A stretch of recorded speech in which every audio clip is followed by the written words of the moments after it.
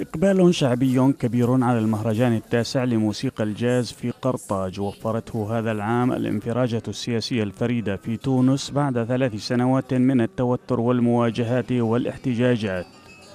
المهرجان افتتح الخميس بأداء فني خاص أحيته الفنانة الكرواتية أنا فيدوفيتش التي أمتعت الحضور بعزفها على آلة القيثار.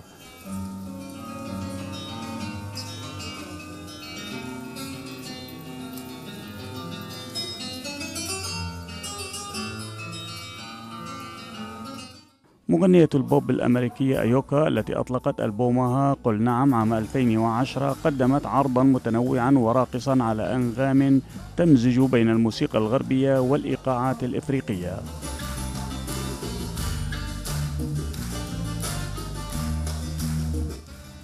الحضور استقبل العروض بحماس وإعجاب شديدين.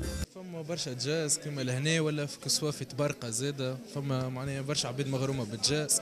surtout المغنين اللي من نيجيريا زادة من l'Afrique.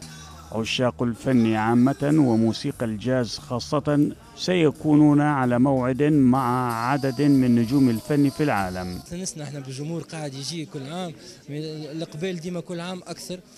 donc حاب يقول الجمهور طالب طالب باش يكتشف بعض الفنانين طالب فنانين اللي مش مش مستانسين يجيو لتونس.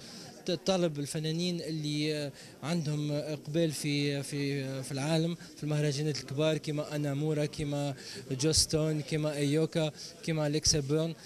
أسماء لامعة من جهات الأرض الأربع يتصدرها فنانون توانسة.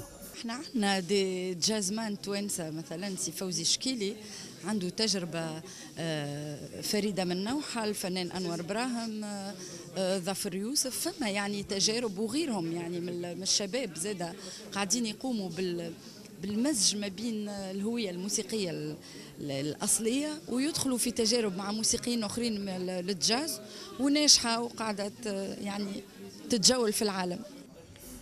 خلال ذلك تتحول تونس إلى مركز استقطاب سياسي وأدبي واقتصادي.